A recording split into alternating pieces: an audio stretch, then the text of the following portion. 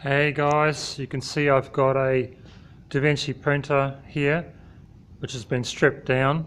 Why? Uh, because when I was doing 3D prints it was failing halfway through and shutting down.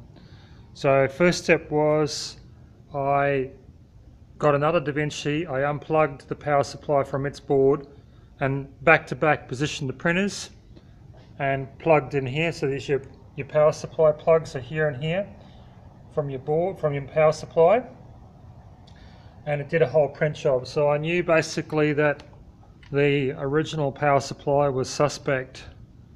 Uh, now I, I have found a source for this one. This is basically, I did some searching, it's basically a flex ATX form factor.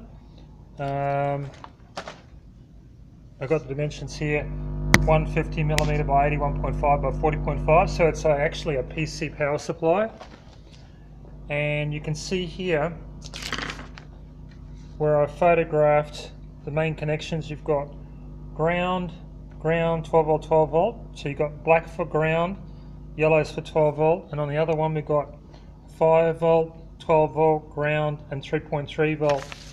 So basically 12 volts yellow grounds black reds 5 volt and orange is 3.3 so I found another uh, power supply. This is just a regular ATX power supply. It's very high power rating. Uh, if you can read upside down, but it says 650 watts.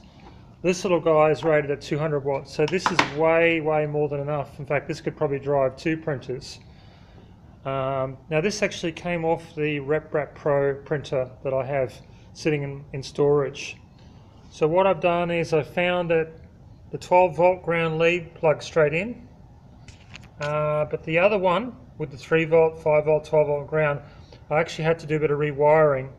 The original plug was wide as though it was facing the opposite way.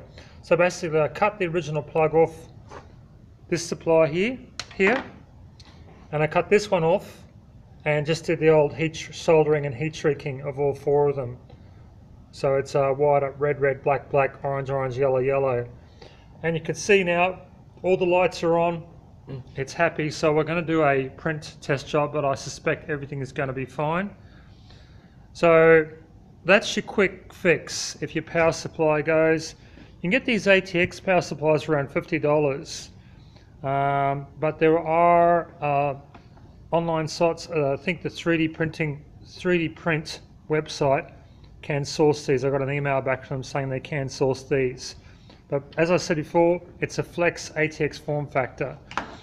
The difference is you may not get the exactly the same uh, lead. So see, I had to change this one if you get a regular PC power supply as opposed to the one made for the printer.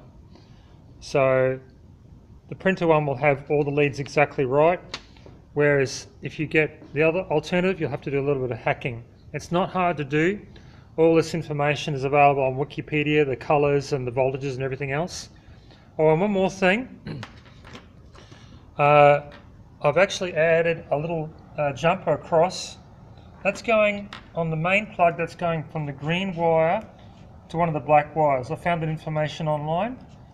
And basically, uh, you can see here on the original, the black and green are actually going to these two which actually went to the power switch.